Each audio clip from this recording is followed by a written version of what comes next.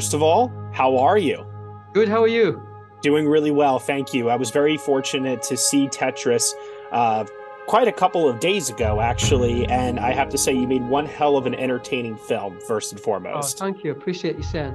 Never would have thought in my wildest dreams that the drama behind the making of Tetris was that dramatic, to say the least. Yeah, me neither. Right, me neither.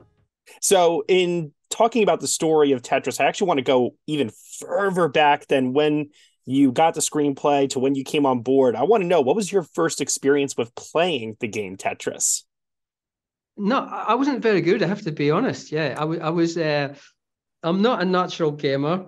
Um, the games I sort of tend to go towards are more like the FIFA soccer sort of games, the sport games.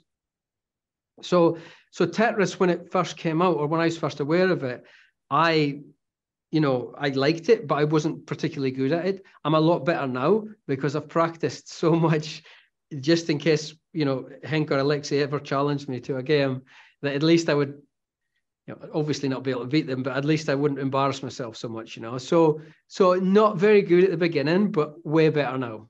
That's fair. That's totally fair. And so jumping ahead now to coming on board with the project, understanding the history behind the game how was the script initially pitched to you? Because when I hear myself, oh, this is about the making of a video game, it doesn't sound like the most exciting story, but yet, but yet. yeah. So um, the script actually was originally called Falling Blocks. Yeah. Uh, B L O C X, B L O C S.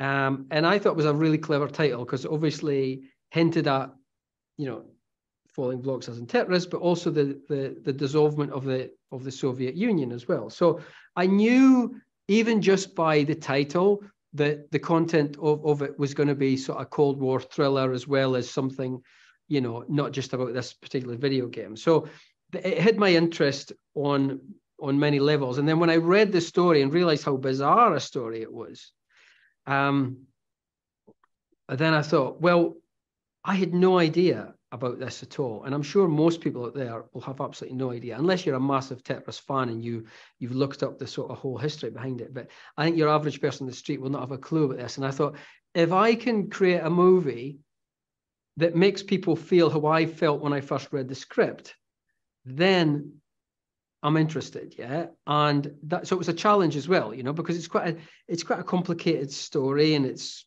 you know it's it's set across this this uh, you know four or five different countries and so it was a big challenge to do and a, and a far bigger budget than I'd ever done before, far more visual effects, and it, it's, on a totally different level of, of filmmaking to what I've ever done before. Um, so that was something that, that pulled me in, and obviously having the ability to work with Taron and Matthew and these guys, uh, again was something that I, you know, could help raise my game to and and and and try and sort of challenge myself. So so yeah, it was kind of like a no-brainer, but especially when I read that title, Falling Blocks, I thought, oh, this is really clever. Yeah. Really yeah. clever. Got me in. But it was a great script. No script was really great. I mean, it needed a, a tiny bit of work, but all scripts do. But so starting point, we were we're in a real we're in a real good place.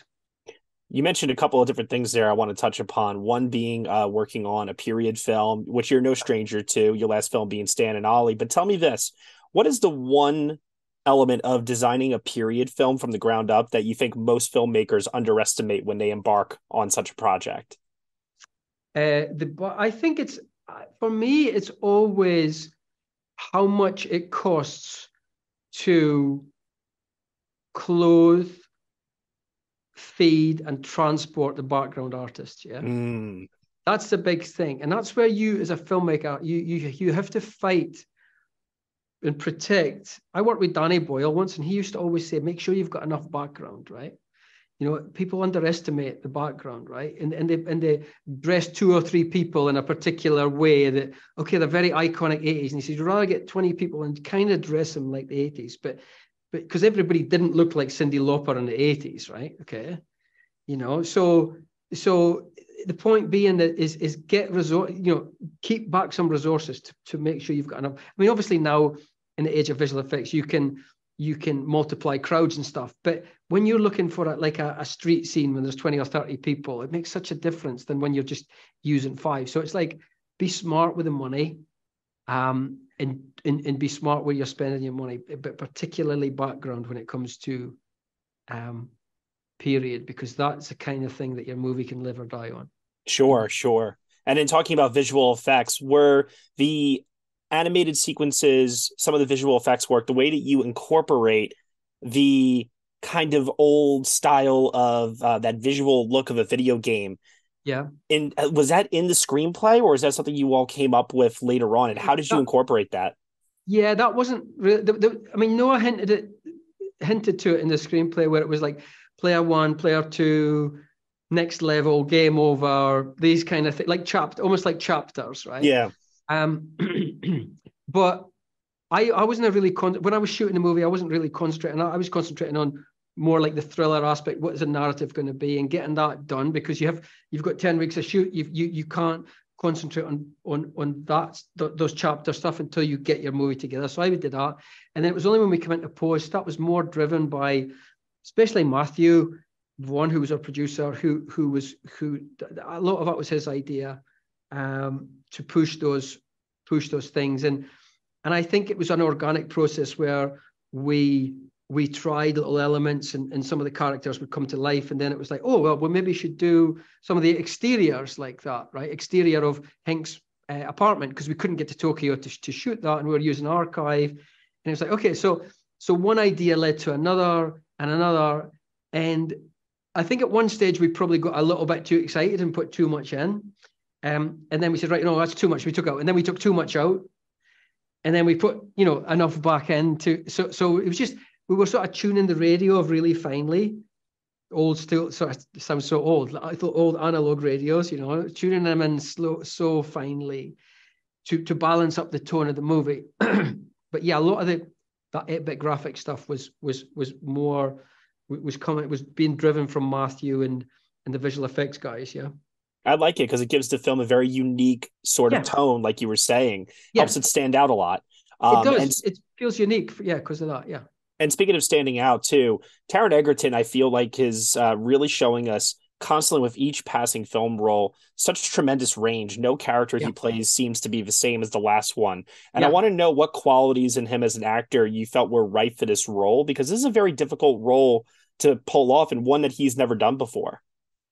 Yeah, I agree. I think one. I think the first thing is is is I feel as it's probably his best performance to date because he is he's show, he's shown another side of what he can do, uh, and a more grounded performance. What makes him so good is he's, he's an incredibly intelligent guy, very articulate, very intelligent, and I've always found that those people may make the best actors. Right, cleverest people make make the best actors. Right, those who can act.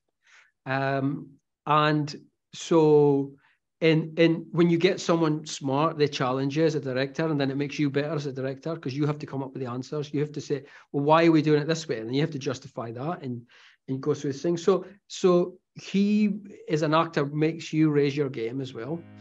Um, and but yeah, I was very impressed with his his work ethic and his professionalism. I have to say, uh, and ultimately the, the the end result. Uh, Absolutely. Yeah, yeah. I think he's he's shown so, again something different. Well, now that you've uh, finished completing work on Tetris, its world premiere at South by Southwest. Uh, what is next for you? What is on the horizon? Uh, any? Can you tell us about any future projects you have coming up? Yeah, I'm going to Canada to, to do a movie. On Saturday, I fly to Canada to do a movie. Uh, and it's with two of my favorite actors oh. of all time. Wow. Uh, and I've just been told I cannot say what it is, which is really frustrating but I'm sure it will be announced very soon. Uh, but it's a movie in the vein of kind of Little Miss Sunshine. It's that kind of, it's that sort of tone, right? But two of the best, in my opinion. Um, so I'm extremely excited about that. And as soon as I can tell you, I will absolutely tell you. Very exciting. Congratulations on the film once again. And thank you so much for the time here. Really appreciate it. Thank you. Thank you very much.